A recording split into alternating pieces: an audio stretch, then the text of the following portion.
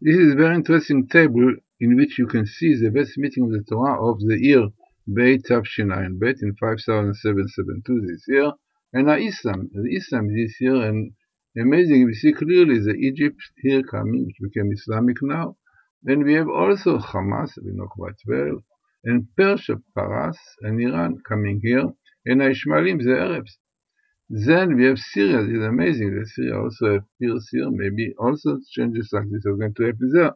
But the most important solution is in also the best meeting with in Genesis, Shuvah, to be repentance, and Ira and fear of God. Only by fear of God and repentance coming to the Torah, believing strongly in God, we are able to take out this Islam from this world, from this dangerous situation that we are in.